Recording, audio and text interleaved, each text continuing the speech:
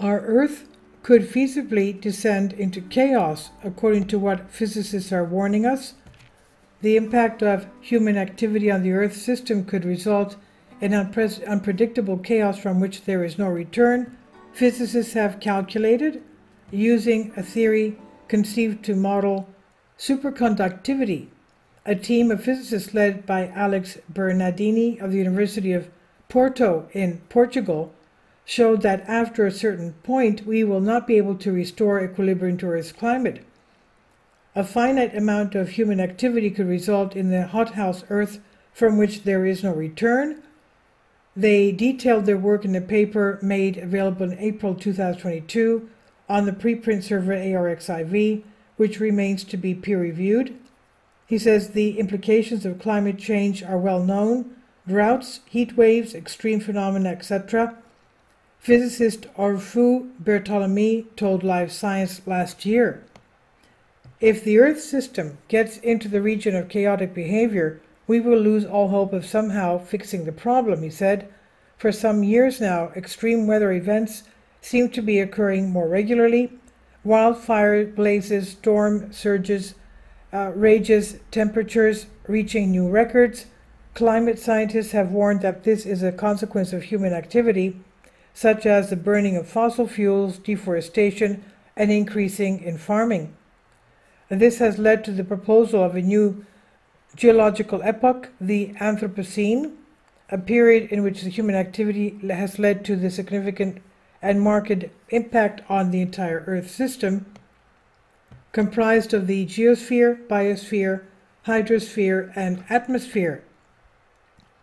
The Anthropocene would follow the Holocene, which started around 11,700 years ago, and scientists propose its beginning around the middle of the 20th century, the peak of the nuclear era.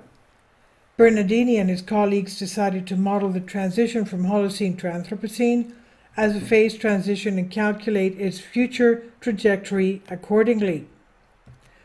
Phase transitions are very common. The term refers to how a material changes from one state to the other. A solid melts into a liquid, a liquid boils into a gas.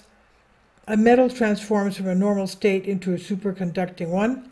Each of these has a tipping point at which an equilibrium state undergoes a profound shift into another state. The Earth system is not a material, but researchers show that the phase transition modeling can be used to predict climate shifts with some success.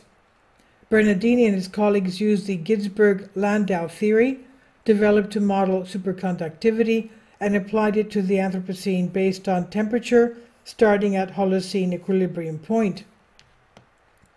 Now, human influence is limited, our world has a finite amount of habitable space, a finite amount of resources, and a finite rate at which we can use them. Given this maximum capacity, the researchers decided to map the possible outcomes of the Anthropocene phase transition using a logistic map, a tool to explore how complex outcomes and even chaos can evolve from a simple point. And the results showed that they were not necessarily heading for a certain climate doom, we might follow quite a regular and predictable trajectory, the endpoint of which is climate stabilization at a higher average temperature point than we have now. That's still not great given the deadly effects we're already seeing on humans and other animals. But at the more extreme end, Earth runs into havoc this means that the Earth's system evolves into chaotic behavior, extreme seasonal fluctuations, and weather events that preclude prediction of the future behavior of the system, making it impossible to mitigate. That means it would be very extremely difficult, if not impossible, to claw our way back to a stable climate. Dividing the human activities into multiple components, we've studied a case with only two of these components following logistic maps and interacting with each one, the researchers wrote. Even for this simple case, we observed the emergence of chaotic behavior in the equilibrium points of the Earth system. This leads to potentially important consequences if at least some components of the human activity actually follow logistic maps, which is a, a quite reasonable hypothesis given the physical limitations of the planet wide system that we live in.